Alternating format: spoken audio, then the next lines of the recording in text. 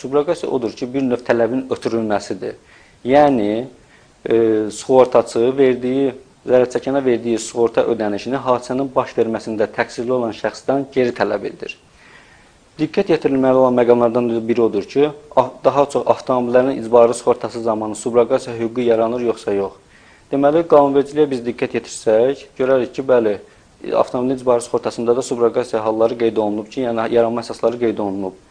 Deməli, bu hallarda subrogasiya hüququ yaranır. İcbari sığortada bu hallarda e, deməli subrogasiya hüququ yaranır.